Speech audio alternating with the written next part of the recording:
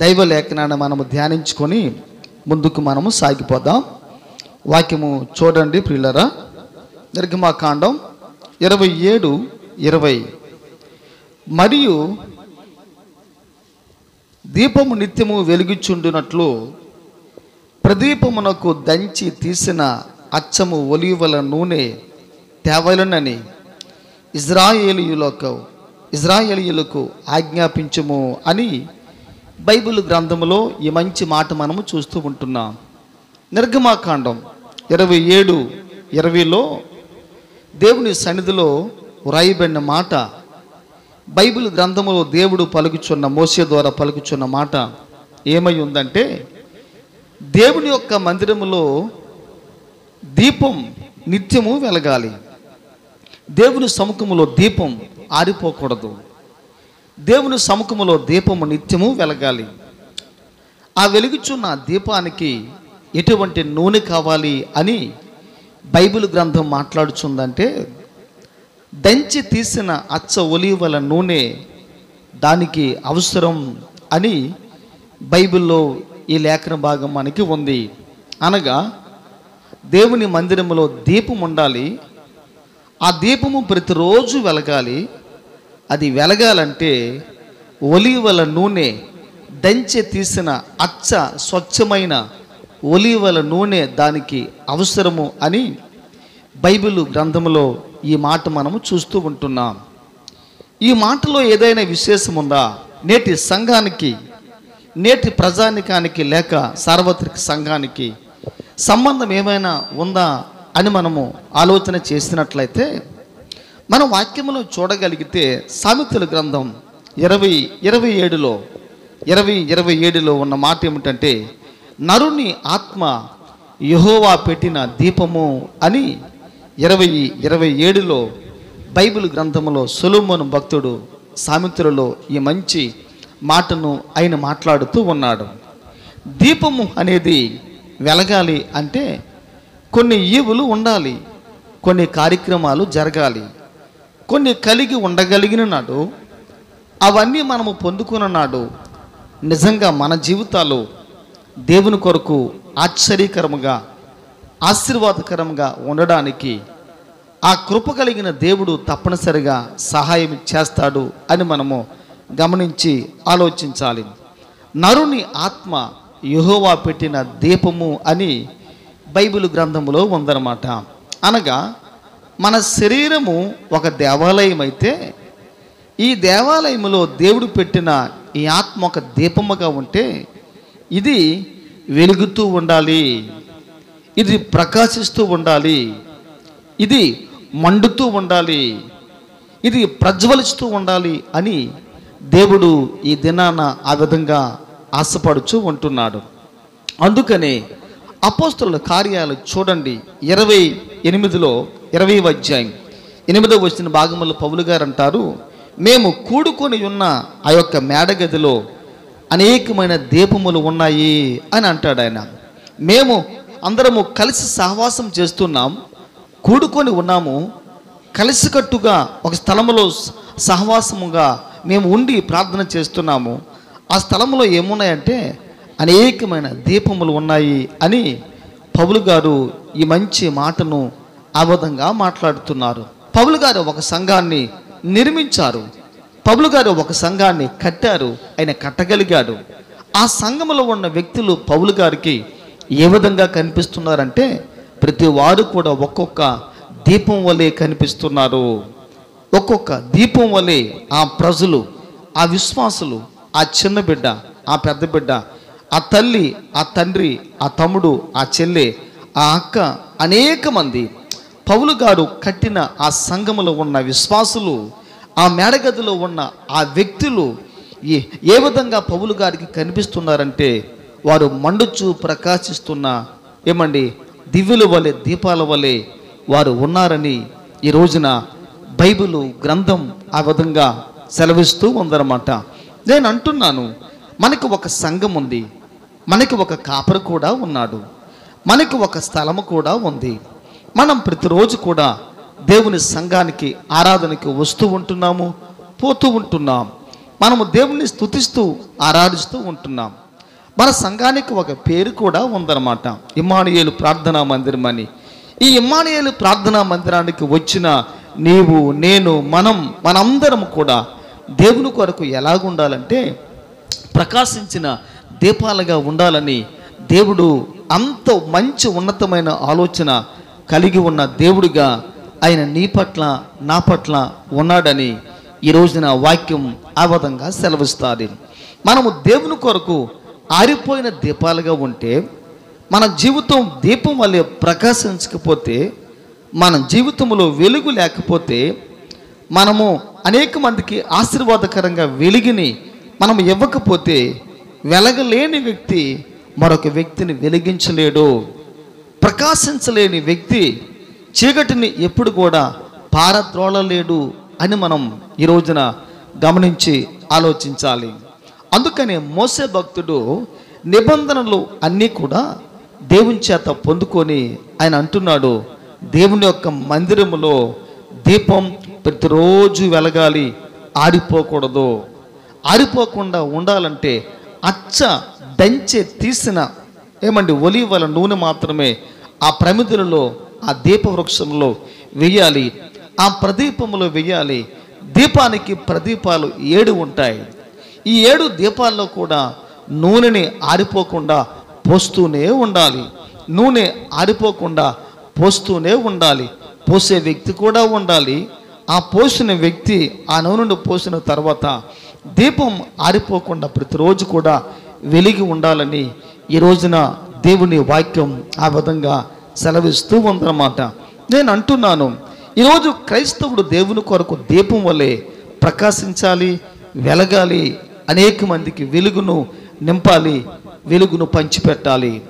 ఈ రోజున క్రైస్తవుడు లోకములో దేవునికి దూరమైపోతూ సహవాసానికి దగ్గరగా లేకుండా దేవునికి సమీపంగా లేకుండా వాక్యాన్ని కలిగి లేకుండా వాక్యానుసారమైన జీవితాన్ని కలిగి లేకుండా మనం లోకములో దూరమైపోతూ ఉంటే దేవుడు మనకి మనము దేవునికి దూరమైపోతూ ఉంటే ఈ రోజున మనము మందిరములో దీపం వల్లే ఉండము కానీ ఆరిపోయిన దీపం వలె ఉండడానికి అవకాశం ఉందని దేవుని వాక్యం ఆ విధంగా సెలవిస్తూ ఉందన్నమాట. అందుకనే మత్తేసు వార్త ఇరవై ఐదవ అధ్యాయంలో మనం చూడగలిగితే వాక్యం అంటున్న మాట ఏమిటంటే ఏమండి? పది మంది కన్యకులు దివిటీలు పట్టుకొని వెలుగుచున్నవారు ప్రకాశిస్తున్నవారు దీపమును మండించుకున్నవారు దివిటీని వెలిగించుకున్నవారు ఆరిపోకుండా జాగ్రత్త కలిగి భద్రముగా చూసుకున్న వ్యక్తులు అందరూ కూడా ఒక్క దినమున వెళ్ళినట్టుగా మనం బైబిల్లో చూస్తున్నాం. కాబట్టి వెలిగిన ఏమండి? వెలిగిన దీపాలు వెలగబడుతున్న వ్యక్తులు వారు ఎత్తబడి పరలోకంలో చేరబడే అవకాశం ఉంది వెలగని వారు విడవబడే అవకాశం ఉందని ఈరోజు మనము గమనించి ఆలోచించాలి. మనము దేవుని సంఘములో సహవాసములో వెలగాలి వెలిగి ప్రకాశించాలి. ఒక దినమున క్రీస్తు ప్రభులు వారు ఈ లోకానికి వచ్చినప్పుడు మనము ఆయనతో పాటు ఆ పరమ పరలోకములో ప్రవేశించిన వ్యక్తులుగా ఉండాలని దేవుని వాక్యం ఆ విధంగా సెలవిస్తూ ఉందన్నమాట. ఒక దీపం వెలగాలి అని అంటే ఏం కావాలి? ఏముండాలి? ఏది ఉంటే దీపానికి క్షేమము? ఏది ఉంటే దీపము పరిపూర్ణమవుతుంది అని మనము ఆలోచన చేసినట్లయితే దీపానికి మొట్టమొదటిగా ఏముండాలంటే ప్రమిదే అవసరం ప్రమిదే అవసరం. అనగా ప్రమిద అంటే ఒక చిన్న పాత్ర. ఇది తప్పనిసరిగా అవసరం అని గమనించాలి. ఆ యొక్క దీపమును వెలిగించువాడు నీవే అని పద్దెనిమిది ఇరవై ఎనిమిది దావిడి సంకీర్తనలో ఈ మంచి మాట మనం చూస్తున్నాం. అయితే ఈ మాటకు ముందుగా దీపము ఎవరు అని మనం ఆలోచన చేయగలిగితే సామెతలు ఇరవై ఇరవై ఏడులో చెప్పినట్టుగా దేవుని యొక్క వాక్యం చెప్పినట్టుగా మనలో ఆత్మ ఉందని మన శరీరమే ఒక ప్రమిది వలె ఉందని ఈ దినమున దేవుని యొక్క వాక్యము ఆ విధంగా సెలవిస్తూ ఉంది. అనగా ఒక మాటలో చెప్పాలి అని అంటే అర్థం ఏమిటంటే దీపానికి ప్రమిది లేకుండా ఎవరు కూడా దీపాన్ని పెట్టలేరు. దీపానికి ఏం కావాలంటే ప్రమిది కావాలి. ఆ ప్రమిది లేకపోతే ఆ పాత్ర చిన్న పాత్ర లేకపోతే దీపాన్ని పెట్టడం అసాధ్యము అని మనం గమనించాలి. అనగా అర్థం ఏమిటంటే ఆ ప్రమిదే మన శరీరమే. ఆ ప్రమిదే ఏమండి? ఆ ఒత్తు పెట్టే ఆ ప్రమిదే ఆ నూనె పోసే ఆ ప్రమిది ఏంటంటే మన శరీరమే అని మనం గమనించి ఆలోచించాలి. అనగా చూడండి ఆ మనం పెట్టే ప్రమిదే ఒకవేళ పగిలిపోతే అంచులు జారిపోతే అంచులు పగిలిపోతే అంచులు పట్టుకోకుండా అనుకూలంగా లేకపోతే ఆ పాత్ర పడిపోయే ప్రమాదం ఉంది అని మనము గమనించాలి. అందుకని దావీద్ అంటాడు నేను ఓటుకుండ వంటి వాడిని అయిపోయాను అని అంటాడు. నేను ఏమండి? నేను మరణించి ఎవరికి జ్ఞాపకం రాకుండా ఉన్న వ్యక్తిగా ఉన్నాను. ఏమండి? ఎవరు కూడా నన్ను స్మరణ చేయనంత స్థితిలో నేను ఉన్నాను. నా జీవితం ఎవరు కూడా జ్ఞాపకం చేసుకోనకుండా ఉంది అని తన జీవితాన్ని బట్టి ఆ దావీదు భక్తుడు ఆ విధంగా మాట్లాడుచూ ఉన్నాడు. అనగా ఒక మాటలో చెప్పాలంటే ఈ ప్రమిదగా పిలువబడే ఈ యొక్క శరీరం అనబడేది దేవుని కొరకు ఎప్పుడు కూడా ఒక పాత్రగా మంచి ప్రమిదిగా ఉండాలని దేవుని వాక్యం ఆ విధంగా సెలవిస్తుంది. కాబట్టి ప్రతి క్రైస్తవుడు కూడా తన శరీరాన్ని కాపాడుకోవాలి తన శరీరాన్ని పవిత్రంగా ఉంచుకోవాలి తన శరీరాన్ని దేవుని కొరకు ఒక దేవాలయముగా ఉంచుకోవాలి. ఇది ఎప్పుడు కూడా పాపాన్ని బట్టి కానీ లోకాన్ని బట్టి కానీ చెడు కార్యాల బట్టి కానీ చెడు కార్యకలాపాల బట్టి కానీ ఈ దేహం అనే కొండ ఏమండి ఈ ప్రమిదే ఎప్పుడు కూడా పగిలిపోకుండా ఉంటే అప్పుడే అందులో ఏమండి నూనె ఉండడానికి అవకాశం ఉంటుంది. ఏమండి ఒత్తు ఉండడానికి అవకాశం ఉంటుంది. అప్పుడు ఈ యొక్క నూనె కలిగిన ఒత్తు వెలగడానికి కూడా అవకాశం ఉంటుందని దేవుని వాక్యం ఆ విధంగా సెలవిస్తూ ఉందన్నమాట. అందుకనే కొరింతి పత్రికల్లో పౌలు గారు అంటారు కదా ఏమండి ఈ దేహము మీది కాదు ఈ దేహము దేవునిది. దేవుని చేత మీకు అనుగ్రహించబడింది కాబట్టి మీ దేహము దేవునికి ఆలయమై ఉందని భక్తుడు ఆ విధంగా సెలవిస్తూ ఉంటున్నాడు. కాబట్టి మన శరీరము మంది అనుకుని మనం ఎన్నోసార్లు నానా రకాలుగా ఇబ్బందులు పెట్టుకుంటూ ఉంటున్నాం ఉంటాం. నానా ఇబ్బందులు పెట్టుకుంటూ ఉంటున్నాం. ఎన్నో సమస్యలకు మనం గురి చేసుకుంటూ ఉంటున్నాం. కానీ వాక్యం అంటున్న మాట ఏమిటంటే మనం అనుకుంటాం చాలాసార్లు నా తల్లి నాకు శరీరాన్ని ఇచ్చింది అనుకుంటాం. కానీ వాక్యం అంటుంది నీ తల్లి నీకు శరీరాన్ని ఇవ్వలేదు నీ తండ్రి నీకు శరీరాన్ని ఇవ్వలేదు నీ దేవుడే నీకు దేహాన్ని ఇచ్చాడు అని మనం ఎప్పుడు కూడా గమనించి ఆలోచించాలి. ఈ దేహాన్ని గాయపరుచుకునే శక్తి కానీ ఈ దేహాన్ని నలుగట్టుకునే శక్తి కానీ ఈ దేహాన్ని పాడు చేసుకునే శక్తి కానీ ప్రపంచంలో ఎవరికి లేదు అని మనం గమనించి ఆలోచించాలి. నీ శరీరం పాడైపోతే నీ జీవితము పాడైపోతుంది. నీ శరీరం పాడైపోతే నువ్వు దేవుని కొరకు ప్రమిదిగా ప్రకాశించలేవు అని మనం ఈ దినమున గమనించి ఆలోచించాలి. రెండవదిగా ఏమి కావాలి అని అంటే ఆ యొక్క దీపం వెలగాలి అంటే రెండవది నూనె కావాలండి. ఇరవై మూడు ఐదులో దావిడి సంకీర్తనలో ఉన్న మాట ఏమిటంటే నూనెతో నా తల అంటి ఉన్నావు అని అంటాడు. అదేవిధంగా ప్రసంగి తొమ్మిది ఎనిమిదిలో ప్రసంగి తొమ్మిది ఎనిమిదిలో మరొక మాట ఉంది. ఆ మాట ఏమిటంటే నీ తలకు నూనె తక్కువ చేయకము అని ప్రసంగి తొమ్మిది ఎనిమిదిలో ఆ మాట ఉంది. ఏమండి? కీర్తన ఇరవై మూడు ఐదులో నా యొక్క ఏమండి? నూనెతో నా తల ప్రభులు వారు అంటి ఉన్నారు అని ఈ వాక్యములో ఈ రెండు వాక్యాలు కూడా నూనె గురించే ఆ విధంగా స్పష్టంగా ఏమండి వాక్యము మన మధ్యలో మాట్లాడుతూ ఉందన్నమాట.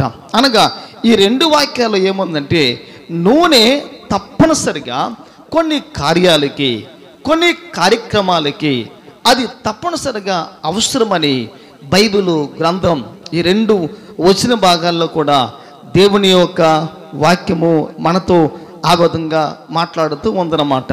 అందుకని ఈ రోజున క్రైస్తవుడు ఎప్పుడు కూడా నూనె వంటి నూనె లాంటి అనుభవాన్ని ఎప్పుడు కూడా కలిగి ఉన్న వ్యక్తులుగా ఉండాలని దేవుడు ఆశపడుచూ ఉంటున్నాడు. దేవుడు ఆశపడుచూ ఉంటున్నాడు.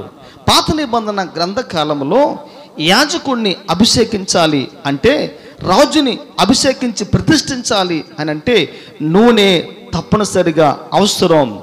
దేవుని యొక్క సముఖంలో ఎటువంటి నూనె అయితే అభిషేకించి ఉంచారో ఉంచగలుగుతుందో ఉండబడుతుందో దాన్ని తీసుకొని వచ్చి ప్రధాన యాజకుడు రాజు యొక్క తల మీద పోసి ప్రవక్త యొక్క తల మీద పోసి ఆ వ్యక్తిని దేవునికి ప్రతిష్ఠించాలి.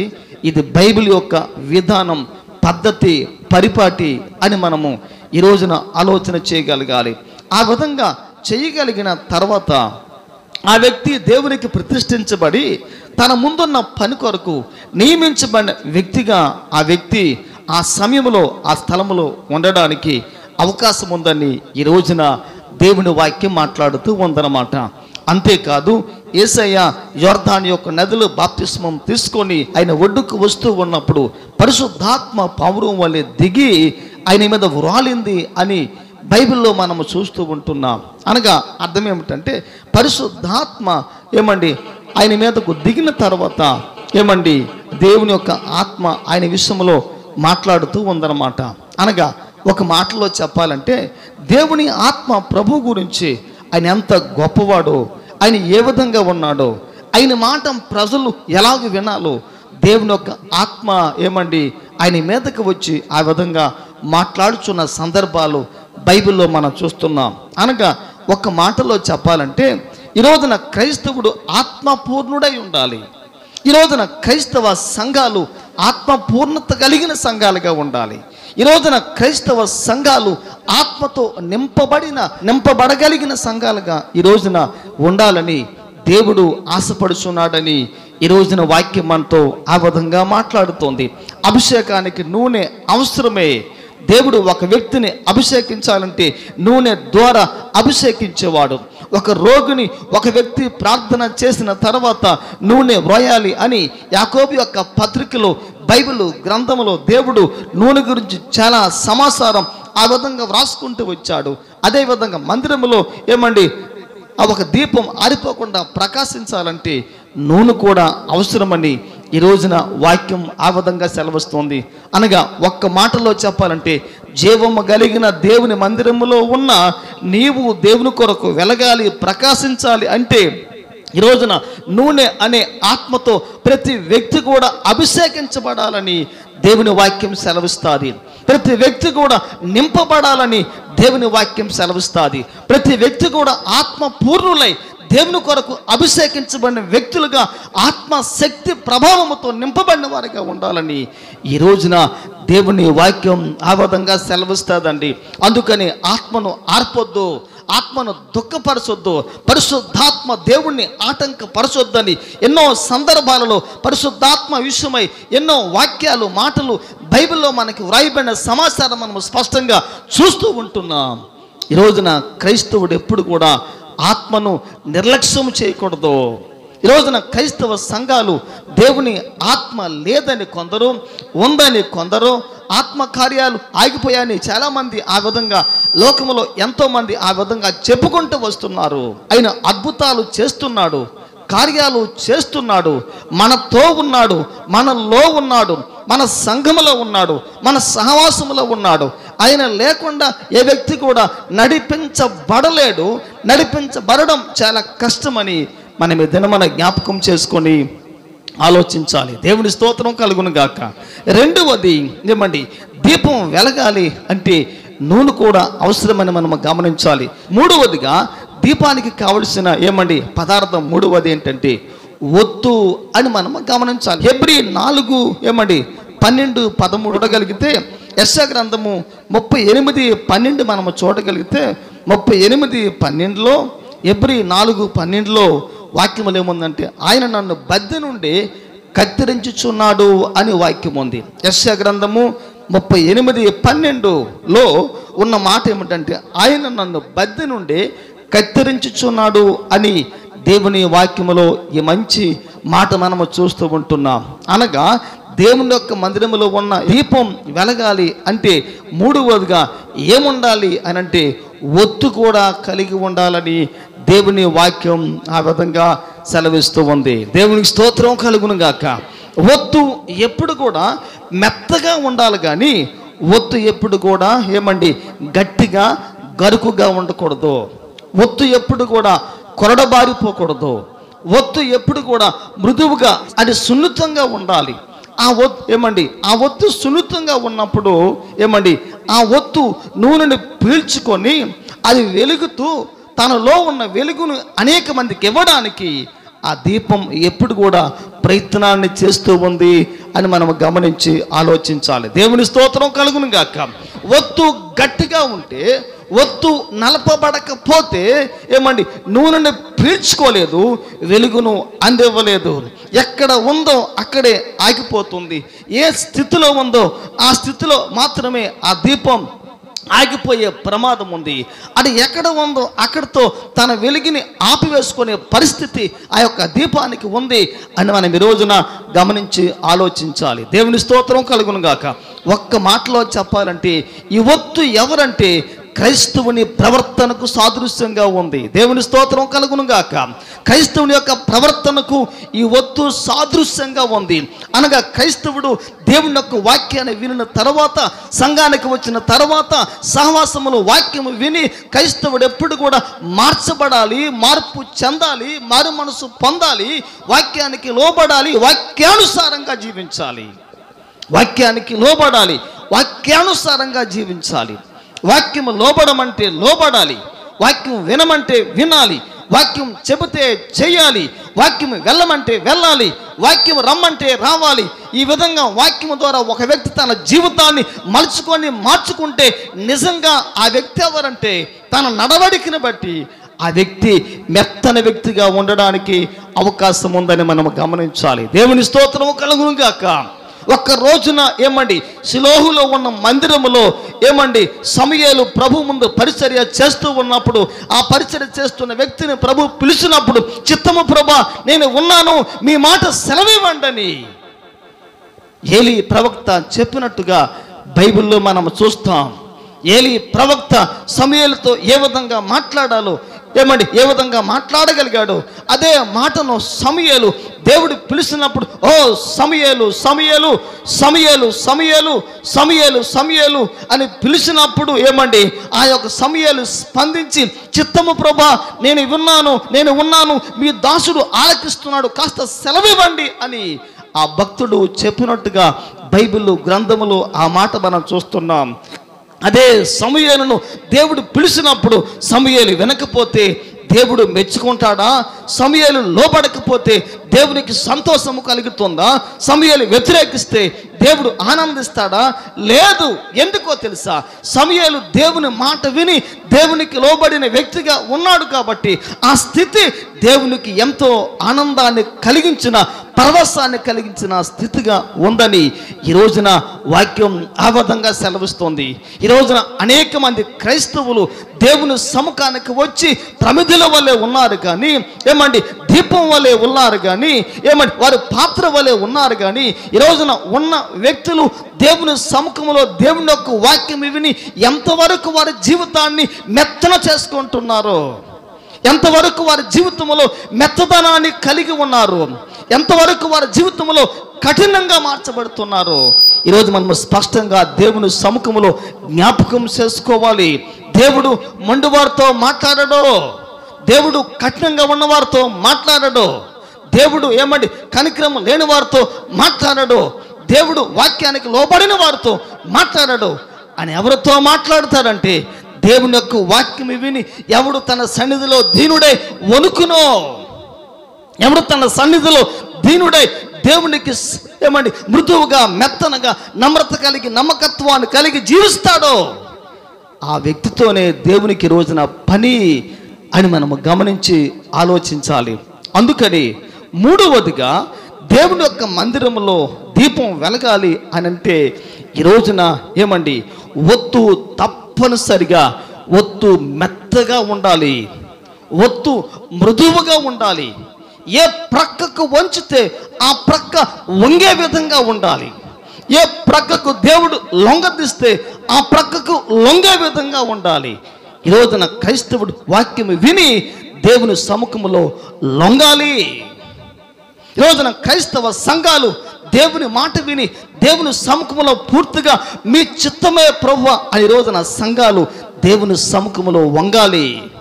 ఆ విధంగా లొంగనందున ఆ విధంగా దేవుని సముఖములో వారు మోకరించినందున లోబడనందున రోజున అనేకమైన సంఘాలలో దేవుని యొక్క సన్నిధిలో ఆ ప్రజలు దేవుని కొరకు ఆశీర్వాదకరంగా జీవించలేకపోతూ ఉన్నారు. జీవితంలో ఆశీర్వాదాలు పోగొట్టుకుంటూ ఉంటున్నారు. దేవునికి లోబడనందున దేవునికి వ్యతిరేకులుగా మార్చబడి ఉన్నందున రోజు వారి జీవితాలు చిందరవందరగా విచ్ఛిన్నమైపోతూ ఉన్నాయి. రోజు వారి జీవితాలు ఏమండి ఏమండి చిన్నాభిన్నమైపోతూ ఉన్నాయి. కానీ దేవుని యొక్క వాక్యానికి వినే వారి యొక్క జీవితాలలో అటువంటి స్థితి ఉండదు అటువంటి పరిస్థితి ఉండదు. వారి జీవితాలు ఎప్పుడు కూడా ఆశీర్వాదకరంగా ఉండడానికి అవకాశం ఉందని ఈ రోజున దేవుని వాక్యం ఆ విధంగా మాట్లాడుతూ ఉంది. దేవుని స్తోత్రం కలుగును గాక. ఒకటవది ఏమండి? ఏమండి? దీపం ప్రమిదే నీ శరీరమే. నీ శరీరంలో ఏమండి? ప్రసంగి ఇరవై ఇరవై ఏడు ప్రకారంగా దేవుడు ఒక ఆత్మను పెట్టాడు. ఈ ఆత్మ దీపం వెలగాలి అంటే ప్రతిరోజు కూడా క్రైస్తవుడు దేవుని యొక్క సన్నిధిలో మెత్తని ఒత్తు వలె ఉండాలండి. మెత్తని ఒత్తు వలె ఉండాలి. మోసేతో దేవుడు మరొక మాట కూడా చెప్పాడు. అయ్యా మోసే ఆ యొక్క ఒత్తు ఒకవేళ కరుడు కడితే కఠినంగా గట్టిగా ఉంటే నల్లగా ఉంటే అది ప్రకాశించకపోతే కత్తెర ఉంది కత్తెర చిప్ప కూడా ఉంది కత్తెర చిప్పలో కత్తెర కూడా ఉంది. ఈ కత్తెర చిప్పలోని కత్తెర తీసుకొని దేవుని సేవకుడు అయిన నీవు లేక యాజకులైన ఆ ప్రజలు మందిరంలో పరిచర్య చేస్తున్న పరిచారకులు ఏమండి దైవజనులు దేవుని సేవకులు ఆ ఏమండి ఆ కత్తెర చెప్పులో ఉన్న ఆ కత్తెర తీసుకొని ఆ పైన కఠినంగా ఉన్న ఆ ఒత్తుని కత్తిరించాలని వాక్యం సెలవిస్తుంది. ఆ కఠినంగా ఉన్న ఆ మొద్దు బారిపోతున్న కరుడు కడుతున్న ఆ చివరి భాగాన్ని ఎప్పుడు కూడా యాజకుడు కట్ చేస్తూ ఉండాలి. యాజకుడు కత్తిరిస్తూ ఉండాలి. యాజకుడు నలుపుతూ ఉండాలి.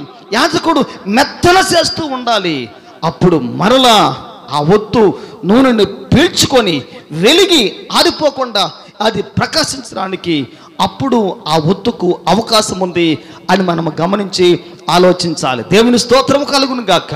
హెబ్రి నాలుగు పన్నెండు ప్రకారంగా దేవుని యొక్క వాక్యము రెండంచుల వాడగలిగిన ఖడ్గం. రెండంచులు వాడగలిగిన ఖడ్గం.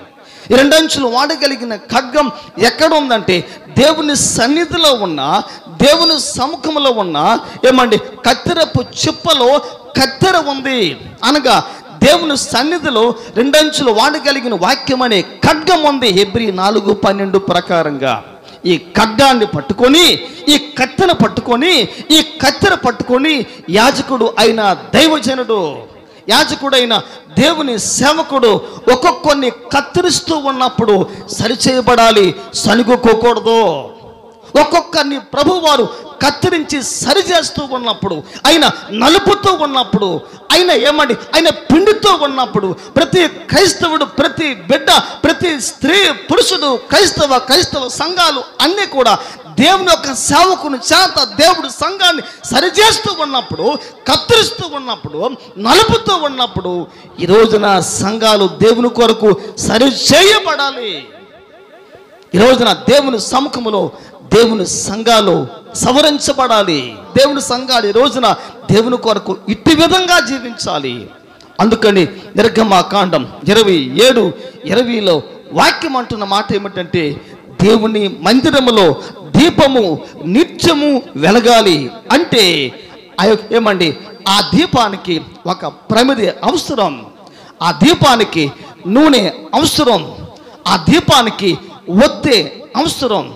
ఈ మూడు సక్రమంగా ఉండగలిగిన నాడు ఆ మందిరంలో ఉన్న ఆ దీపం లేక ఆ విశ్వాసి సభ్యుడు అసంగ పెద్ద అసంగ కాపరి అసంగ నాయకుడు అనేక మంది ఆ విధంగా ప్రకాశించే అవకాశం ఉందని ఈ రోజున దేవుని వాక్యం ఆ విధంగా సెలవిస్తూ ఉందండి. ఆజ్ఞ దీపముగాను ఉపదేశము వెలుగుగాను శిక్షార్థమైన గద్దెంపులు జీవ మార్గములు అనే సామెతల గ్రంథము ఆరవ అధ్యాయము ఇరవై మూడవ వచ్చిన భాగం. సామెతలు ఆరు ఇరవై మూడులో దేవుని యొక్క వాక్యం అంటున్న మాట ఏమిటంటే అప్పుడు దీపం వెలుగుతుంది అని బైబిల్ గ్రంథములో ఈ మంచి మాట మనము చూస్తూ ఉంటున్నాం.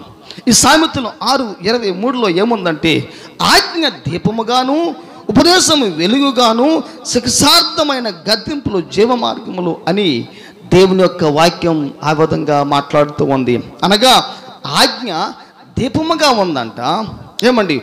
ఉపదేశము వెలుగుగా ఉందంట. ఈ రెండు కలిగిన క్రైస్తవుడి యొక్క మార్గాలు ఏ విధంగా ఉంటాయంటే శిక్షార్థమైన గద్దింపులు.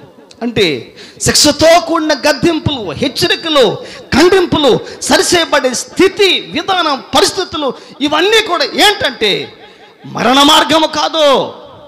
నరక మార్గము కూడా కాదు జీవ మార్గమని దేవుని వాక్యం ఆ విధంగా సెలవిస్తుంది. ఈరోజు మన జీవితంలో ఏమండి దేవుని ఆజ్ఞ దీపముగా ఉండాలి. ఈరోజు మన జీవితంలో ఉపదేశం సందేశం వెలుగుగా ఉండాలి. మూడవదిగా వెలుగుగా ఉంటే ఏమండి ఆజ్ఞ దీపముగా ఉంటే మన జీవితాలు ఎప్పుడు కూడా ఏమండి జీవ మార్గంగా ఈరోజు మన జీవితం మార్చబడే అవకాశం ఉందని బైబిల్ గ్రంథం ఆ విధంగా మాట్లాడుతూ ఉంది. ఈరోజు మన మార్గం జీవ మార్గముగా ఉండాలి కానీ మరణ మార్గముగా ఉండకూడదు.